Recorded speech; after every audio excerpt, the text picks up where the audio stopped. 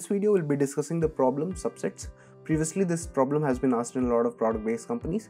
So you'll be given an array of integers and you have to find all the subsets for that given array. So let's say if you have been given the array as 1, 2 and 3, then the subsets can be either it can be an empty subset or it can include just one element, it can include just two, it can just include three or it can include 1 and 2, it can include uh, 1 and 3 or it can include 2 and 3 or it can include all the elements. That is 1 2 3 right? And notice that you will not consider 2 and 1 and 1 and 2 is different because you are talking about subsets and not about permutations right? So how do you do this particular problem? So basically you have to generate all the subsets for this particular problem. Now what you can see is that when you are at a particular element so you have the choices to either select this uh, particular element or not select right? So this problem is an important and it has been asked in Google, Amazon, Facebook, Microsoft, Twitter and ByteDance. So let's see how you will generate. So let's say you have the array that is given to you as 1, 2 and 3 and what you have is you have choices right. So for every element you have a choice either you can include it into your answer or you can not include it right. So let's say you are at the very first element that is this one element right the very first element that is 1. So what you can do is either you can include it or not include it right. So let's say if you include this particular element, so what happens is if you don't include, then the set will remain empty. If you include it, then the set will become 1, right? Now let's say that you after this particular element, you move to the next element. Once you move to the next element, so you have two choices. Either you include this particular element too or you don't include it. So if you don't include it, right, if you don't include it, then the set still remains empty. Or if you are here and you include it, so the set becomes 2, right, subset. Now from here also, either you can include 2 or not include 2 if you don't include then this remains 1 if you include it then the set becomes 1 comma 2 right? Now when you move to the next element that is 3 so either you can include it or not include it. So if you don't include it so the set remains empty. If you uh, include it then the set becomes 3 right? After this what can happen uh, when you are at this 2 right? So either you include it uh, or not include it. If you don't include it then the set remains 2 if you include it then it becomes 2 comma 3 right? Similarly here if you uh, include uh, if you don't include then this remains 1 if you include this 3 then it becomes 1 comma 3 right? Similarly here if you include it so it becomes 1 comma it, you, uh, if you don't include it it becomes 1 comma 2 if you include it it becomes 1 2 and 3 right? So what we are doing at each step is that suppose that uh, you are currently standing at a particular index i. So what you are doing is either you are including that particular element that particular index right? Or you are not included in right? So these are the two choices. So for every element for every element you have two choices right and you have total n elements. So for one element if you have two choices so that means for uh, n elements right? For one element you have two choices. So for uh, for every element you have two choices right? So there are uh, there are basically here are three elements right? So for, the first element you have two choices. For the second element you have two choices. For the third element you have two choices. That is either to include or not include. So that means 2 to the power 3 that is uh, if there are total n elements given to you then you will have 2 to the power n right. So that's what you have to observe in this particular problem. Now how to do this particular problem? So what you can do is like as we discussed let's suppose that you are currently at a particular index. So either you can think of including that particular index or not including. Let's try and see. So let's suppose that you are currently at this particular index. That is the very first element you are at. So if you are at this element so either you can include it or not include it. So initially what you will do is you will take an empty vector right? You will take an empty vector that will not consist of any elements. And what you will do is uh, you will uh, move as a particular index right? So you will have a final result that will be storing all the subsets. When will you store the subsets? So you'll store the subsets when your i hits uh, when your i gets out of the uh, bound right? When your all the elements are traversed like when you traverse all the elements. So these are the subsets that you will be getting. So you'll be storing them one by one into your answer. And notice that uh, in this question uh, you have been mentioned that you have to return the answer in sorted order like 1 2 1 2 3 1 2 3 4 then 1 3 then 2 then 2 3 and 3 right? So you have to return it in sorted order. Uh, so that is something that you can do in the end. Now let's say that you are at a particular index i right? So if you are at the particular index if you are suppose at this particular index right?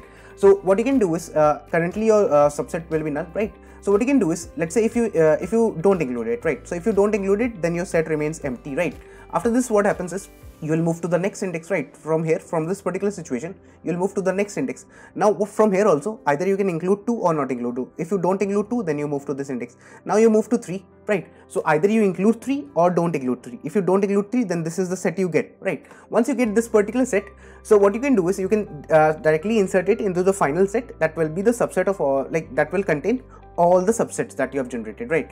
After this what will happen is uh, let's say you uh, had done this right?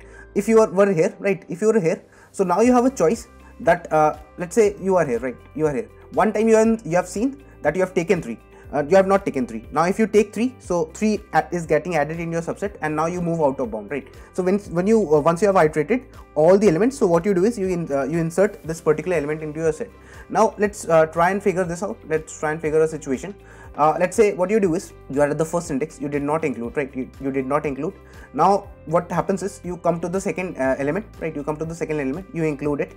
Then what happens is you move to this 2 now uh, now your uh, situation is this right? So what you do is let's say you move to 3 then what happens is you either include 2 or uh, like you either include 3 or don't include 3 if you don't include 3 then you move to this element 2 right? If you if you uh, do this right? But if you include it so it, it becomes 2 and 3 right? So you'll be checking for both the cases. You will be inserting after you do this like after you move out of bound then you will be again inserting right? Now let's say what is happening basically is you have to consider all these things. And basically uh, like every time you are changing your subsets as well. Why? Because let's say you have done this. Let's say you have tra done traversal for this. Then when you are moving back when you are moving back so basically when you are iterating so you are popping out uh, the current element that you had inserted. Let's say you let's say you were here. So when you move out when you move back so you're uh, basically removing this particular element from your set as well right? Where, when you move back from this like 2 and 3 so when you move back so you're uh, removing this element 3 as well right? So that is something that you need to notice. Uh, so let's quickly try and write the code for this particular problem. So basically what you'll be doing is uh, you'll be given a function that will uh, be uh, having vector given to you. So what you have to do is you have to write a code such that you have to generate all the test cases all the subsets of the given set and what you have to do is you have to return the answer in sorted order right? So what you will be doing is let's say you have a vector nums you declare a vector nums right? You will declare a vector int nums basically first of all. And then what you do is you write a function let's say you write a recursive function and what you do is you pass in it the array you start from the zeroth index and you pass the nums right after this is done, so this will be the recursive function that will be doing like either you select for the ith index or you don't select the ith index, right? In the end, let's say you have a resultant, uh, let's say you have a resultant vector, right? Or let's say you have a resultant vector that is named as answer. So you'll be sorting this particular resultant vector, right? Uh, that will be considering order subset. So what you will do is you will do answer uh, dot begin, uh, sort answer dot begin uh, and answer dot end, right? So that will give you the sorted uh, subsets in this case. And in the end uh, definitely you will return the answer. Now let's try and see what you will be doing. Let's uh, declare a public uh, answer right? Uh, that will keep, contain vector of vectors. So i'll declare vector of vector int right? Now what i'll have is i'll have answers right? So this will uh, contain all the answers for the given test case. After this is done so what i'll do is i'll have this void function. I'll have this void recursive function wherein what i'm doing is i'm having the vector int uh, a right so i'm passing it by reference. Then what i'll have is i'll i'll be at the current index i.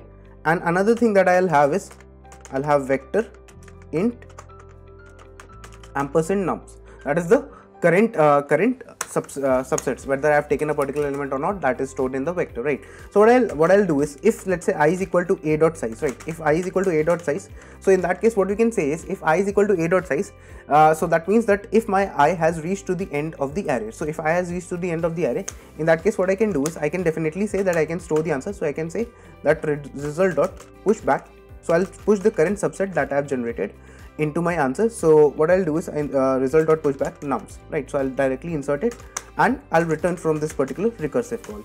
Otherwise if I haven't done it if I have not uh, done this so what I'll do is I'll call the recursive function and what I'll do is I'll pass the vector a I'll call for the uh, next i plus 1 and I'll call for this vector nums right? So this is the case when I, am considering uh, that the current element is not added right? Suppose that I have, I have not considered the current element. So in this case current element a of i is not added right? Not added to the set right? After this what i can do is i can uh, let's say i add it right? So if i add it so i'll add it in the nums. So i'll say nums dot pushback. I'll say nums dot pushback. Nothing but a of i. So if i add it right? So if i add it then i'll try to call a recursive call right? So i'll call for what? A comma i plus 1 comma nums right? So i'll call for it. Now in this particular case when i am calling this recursive call. So this is when current element a of i is added right? Is added to the set. So if I add it then in that case I'm considering it right? So once I've done this so while I'm back backtracking so what I need to do is I need uh, once I'm backtracking so I need to pop it out as well. So what I'll do is while I'm backtracking so as I mentioned here uh, let me uh, show you here like uh, while I was coming from here while I was let's say coming back from here so if I was coming back let's say from uh, this particular recursive call right so if I'm coming back from here so I was popping the 3 out right so that when I come here back from here like so you can see right so I was popping it out. Like when I came back from here so I was popping this 3 out. So similarly you have to also do right so that is what uh, backtracking means here. And what you will do is you will do num dot pop back not right pop back. So this will pop, pop out the back element. And this is nothing but the process of backtrack. Right. So this is the process of backtracking that we are doing. Now what you need to do is uh, you need uh, once this part is done right. So you can write a public here. So once this part is done so basically what you will be doing is uh, first of all you are considering that you are not including the ith element that is a of i. If you are not including uh, including it and moving to the next element or if you are uh, including it in so you will add it in your nums and then what you do is you basically move to the next index. And now while you are backtracking so you pop it out right? So this is the way that we'll be doing it. Uh, let's try and compile this particular code and see whether it's working or not. It's getting compiled. So currently it seems to get compiled yeah. So let's try and submit this code and see whether it's working or not. So you can see that it got submitted uh, so basically in this particular problem you just had to generate all the subsets uh, like this. And one more thing that you need to remember is uh, since for every element since for every element I am having two choices right? So if there are three elements then I had 2 into 2 into 2 for every element I had two choices uh, either I included or not included. So if there are three elements then uh, my time complexity was 2 to the power 3 but if I have n elements so the overall time complexity will be order of 2 to the power n right? Time complexity. But in terms of space complexity that space complexity will be order of 2 to the power n into uh, the number of subsets right? That is one thing that you need to remember. In case if you have any doubts so you can mention that in the comments. And if you like this particular video so you can uh, consider to like it and subscribe the channel as well. Thank you